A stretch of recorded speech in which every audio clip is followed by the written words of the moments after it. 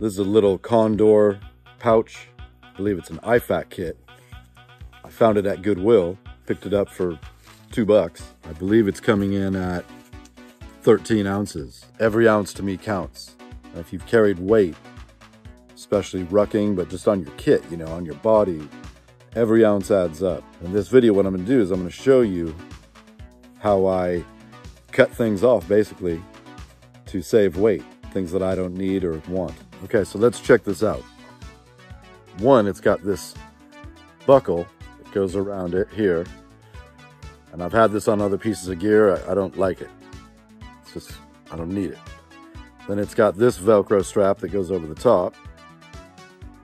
I've had that on other stuff. I don't need it. It's got these ties here on the zipper.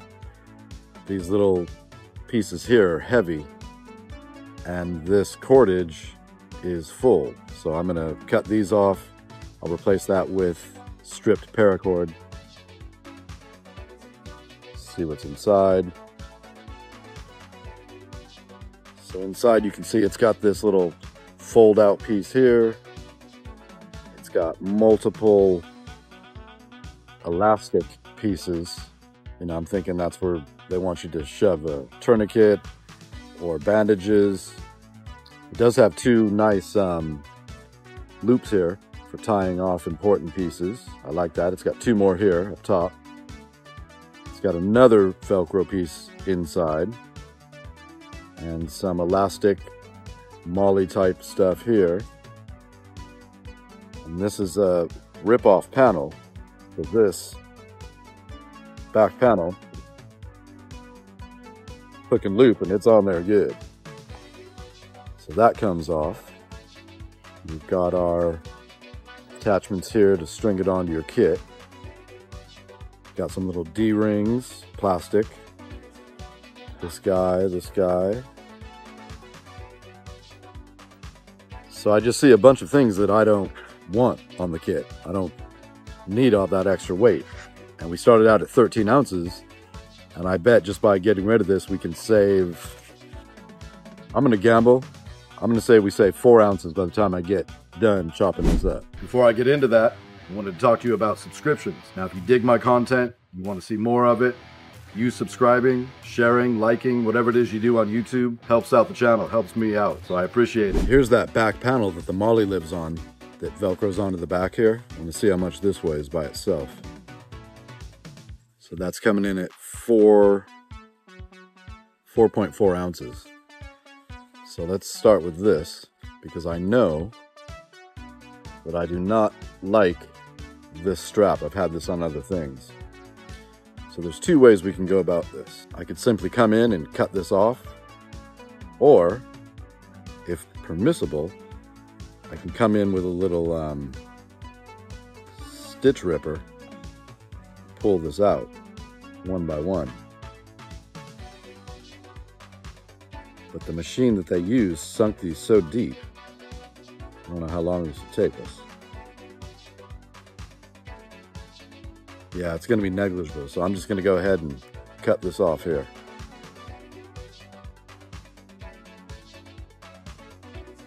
Now, these things are valuable, so I'm going to save this. This has a nice elastic tie here, right?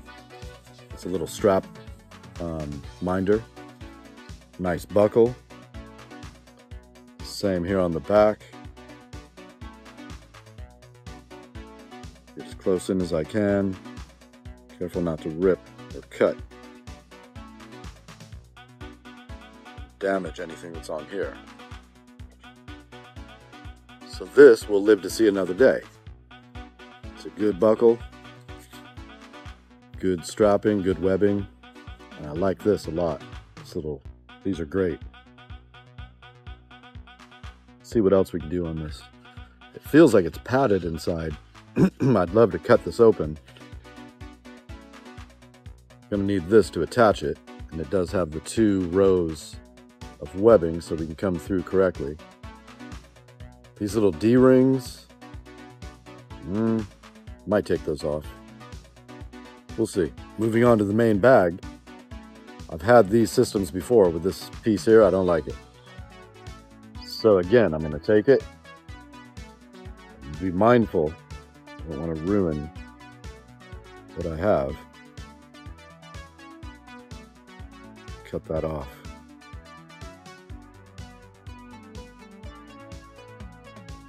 Now in that one, that would have been difficult because if I would have tried to rip the seams here, I'd be lifting up this Velcro hook and loop.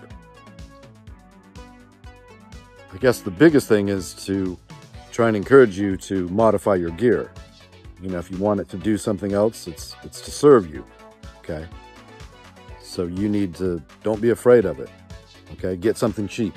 Pick something up for a dollar and then just go at it. Destroy it. Don't be afraid. You know, if it's a dollar and you ruin it, who cares? This one I'd like to get out with the steam seam ripper. See how in this is. We've got some heavy stitching. Looks like it's triple, double, quadruple stitched on there. So again, I'm just gonna go ahead and cut this off. Again, being mindful of my product. So I'm watching my scissors, make sure I'm not ruining anything as I'm doing this.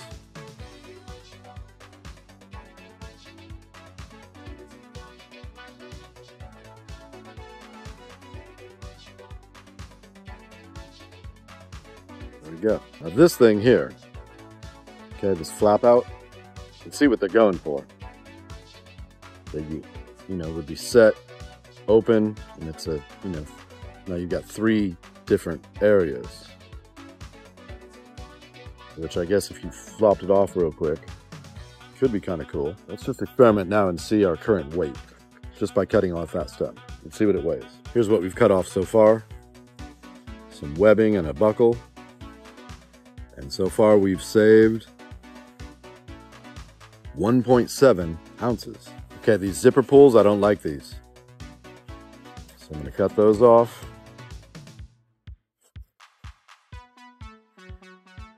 And what's inside of them? Let's see if this is real 550. Yeah? I just don't care for these. I'm just gonna replace this with um, paracord that's been stripped of its innards. This is my seam ripper, it's broken, but just to show you what you do. Basically, you come in real gently, you don't want to damage any of this nylon here just try and pick up these stitches, cut them. Be careful because if you just yank on this, you will rip the material. You don't want to do that. I'm going to keep this nylon healthy.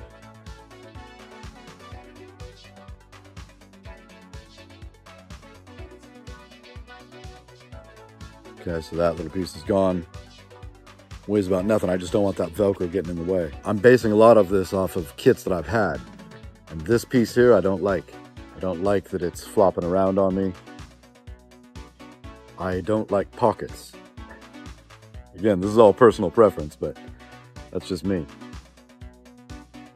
So I'm gonna go ahead and get in here and get this guy out of the way.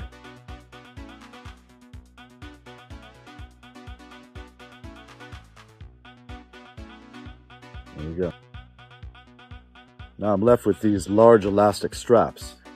And I can see they had good intentions, but I can just see this getting in my way. I don't like it. So I'm gonna go ahead and remove them. Put some tension on them.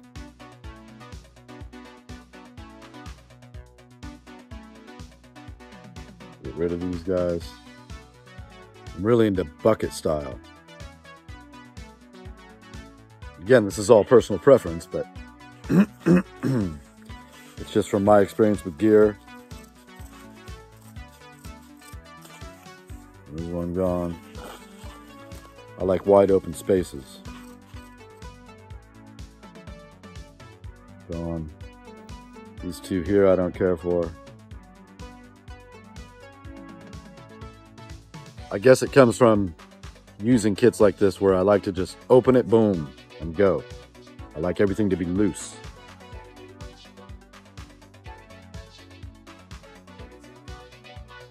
Up. I'm gonna show you what happens if you don't pay attention.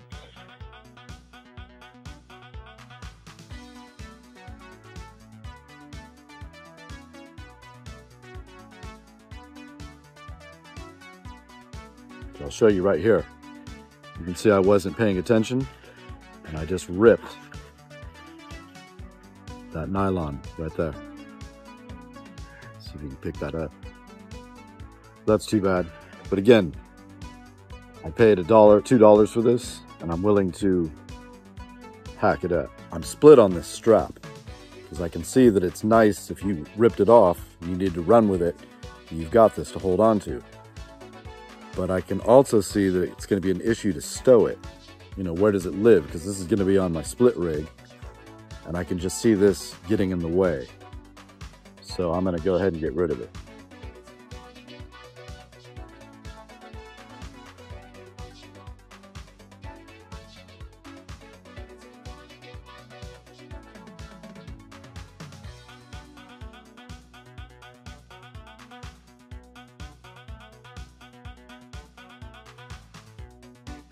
That's gone. Now I'm thinking about these D-rings.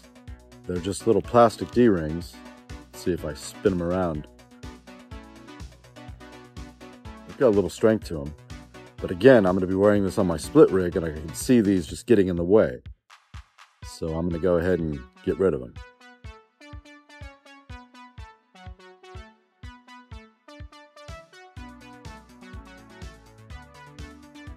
Okay, those are metal.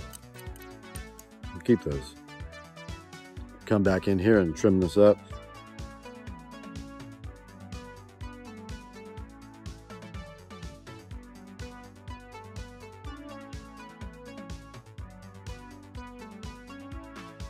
Here on the inside, we've also got this elastic.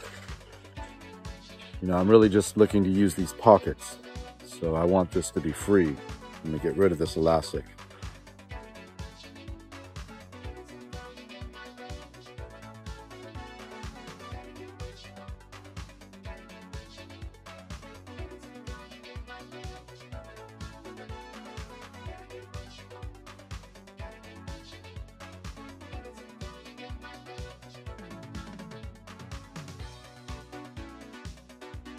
I'm getting happy with this because now I've created just a simple clamshell. Open it, got a pocket here. And on this side, I've got two sleeves, two pockets. And I can definitely tell that it's lighter. Get some um, strip paracord on these zipper pulls. This paracord came from another project you may have seen in um, this video here. And I always save the casing, okay, because it is very valuable. Right now I'm to use it to make these zipper pulls. So I'm just going to come through here. And I like to leave them a little bit long so it gives me room to tie that knot.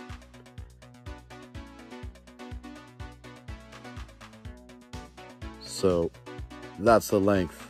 You're looking at um, probably about 12 inches total. And then what I'll do is I'll come in, I'll just put a simple overhand knot do the same thing on the other side. And I caution you to stay away from making loops, okay?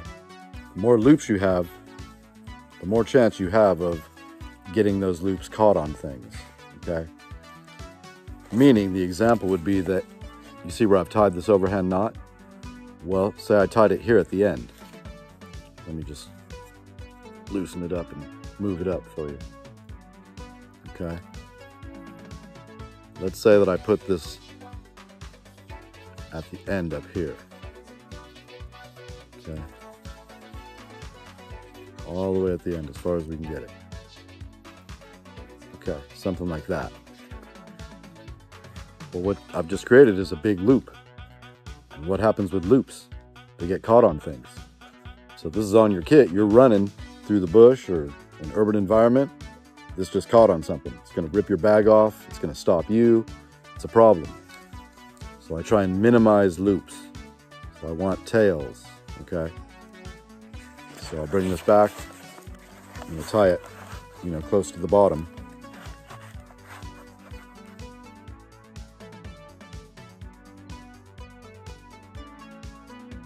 These two through.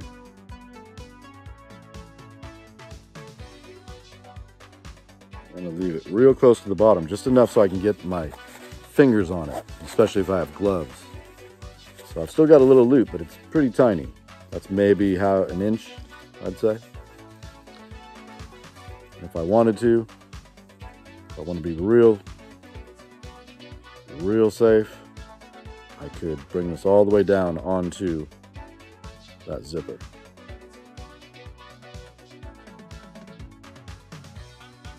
Like so.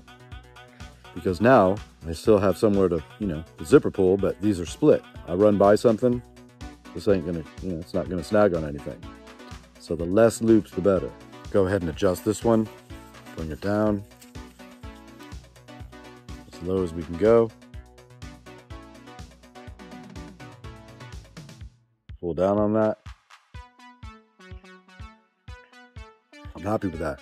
Now I'm gonna go ahead and burn the ends of this paracord. I learned this trick from somebody a long time ago. I used to just burn, you know, paracord like this. I don't remember who it was, but I saw a video and he said, you know, you're just wasting the flame. Put both of them in there. Two for one, right?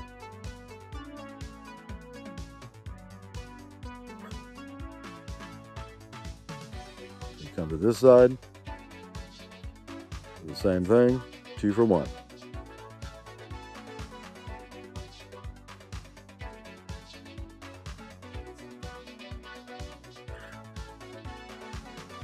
Let that cure and then we'll um, put everything on the scale and see how much weight we save. Gathered all of the pieces that I've cut off this pouch and put them into this other little pouch that came off the bag. And moment of the truth, let's weigh it on our scale, see how much weight I saved. Looks like 4.7 ounces. That's a lot, okay? So eight ounces is half a pound. So that's a lot. 4.7 ounces. And we'll come back to the original bag and see what this weighs. This weighed 13 ounces when we started. Let's see where we're at now. Okay, 8.5 ounces. That's a big difference. Now this is all up to you. The point of this video, the reason I'm making is to encourage you to get a piece of gear that you pick up for a buck or something old that you're gonna throw away. And before you throw it away, take it and start modifying it. Okay, cut it up. It's just to break that fear, okay, of ruining things. No. You're gonna want to learn how to modify your gear, make it work for you. That's a lot of weight saved. A lot of people will see this and they'll say, that's sacrilegious. You shouldn't be cutting up gear. Well, think of what we saved here, okay? What I tell people is think of what else you can now put in your bag that weighs that you know, 4.7 ounces. Here's an example of why this is important, okay? So we've got this that we just cut off. That's 4.7 ounces. And we've got our little drone body, okay?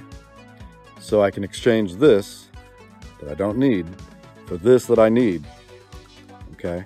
That's coming in at 3.2 ounces. So there you go. We got rid of this and we got this.